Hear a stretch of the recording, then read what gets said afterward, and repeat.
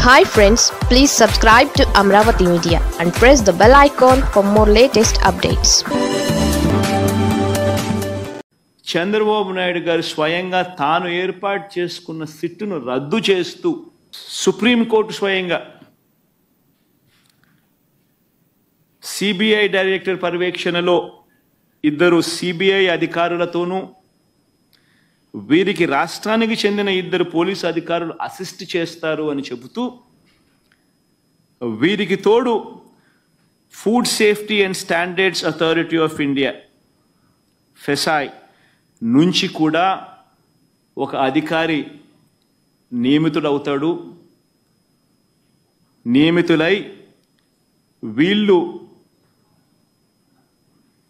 In- వీళ్ళు లడ్డూకు సంబంధించిన విషయం మీద వీళ్ళు నివేదిక ఇస్తారు అని చెప్పి చెప్పడం జరిగింది. నేను అడుగుతా ఉన్నా ఇంతగా సుప్రీంకోర్టు ఆక్షేపిస్తే ఇదే పెద్ద మనిషి చంద్రబాబు నాయుడు గారు అనే వ్యక్తికి ఏమాత్రమైనా కూడా దేవుడి మీద భక్తి భయము ఏమాత్రం ఉన్నా కూడా తప్పు చేసినట్టుగా కనిపిస్తా ఉన్నా కూడా మొట్టమొదటి తాను చేయాల్సింది ప్రజలకు భక్తులకు క్షమాపణ చెప్పడం. తిరుమలలో స్వామివారిని వేడుకోవడం తప్పు చేశాను తప్పు చేశాను స్వామి క్షమించండి అని చెప్పి. అవేవి చేయకపోగా అవేవి కూడా చేయకపోగా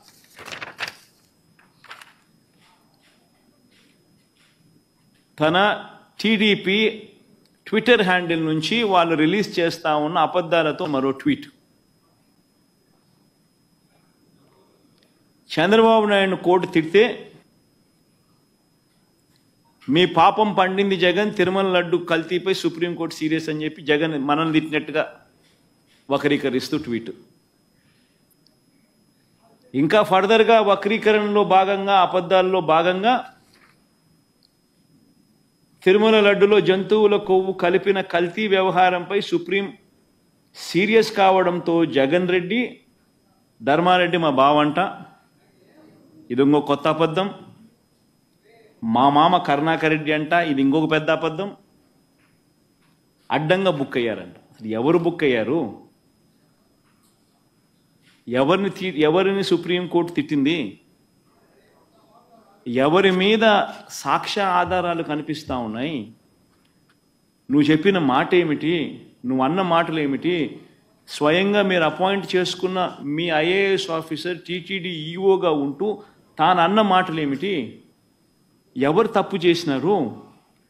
ఎవరు దేవుడి మీద దేవుడి దగ్గర దేవుడి సమక్షంలో దోషులుగా ఎవరు నిలబడాలి? ఎవరికి దేవుని మీద భక్తి ఉంది? భయం ఉంది? అన్న కర్మ ఏమిటంటే ఈ మనిషికి దేవుడు అంటే భయము లేదు భక్తి లేదు. దేవుణ్ణి సైతం రాజకీయాలలో వాడుకునే అన్యాయమైన బుద్ధి ఈ రాజకీయ నాయకుల్లో ఉంది కాబట్టే ఈ చంద్రబాబు నాయుడు గారు లాంటి అన్యాయమైన రాజకీయ నాయకులు ఉన్నారు కాబట్టే మన కర్మ మనకి నిజంగా రాష్ట్రానికి రాబోయే రోజుల్లో దేవుని ఈ పాపం దేవుని కోపం ఆంధ్ర రాష్ట్ర ప్రజల మీద పడకుండా దేవుని నేను వేడుకుంటా ఉన్నాను. ఆ పాపం అనేది చంద్రబాబు నాయుడికే పరిమితం కావాలి. చంద్రబాబు నాయుడు అబద్ధాన్ని మోస్తా ఉన్న చంద్రబాబు నాయుడు గారి కూటమికి మాత్రమే పరిమితం కావాలి అని చెప్పి. చంద్రబాబు నాయుడు గారు అబద్ధాన్ని మోస్తా ఉన్నా అబద్ధం అని తెలిసినా కూడా మోస్తా ఉన్నా ఆ నాయకులకే పరిమితం కావాలి అని. నిజంగా దేవుణ్ణి అందరం ముక్కోవాలి ముక్కుంటున్నాం కూడా.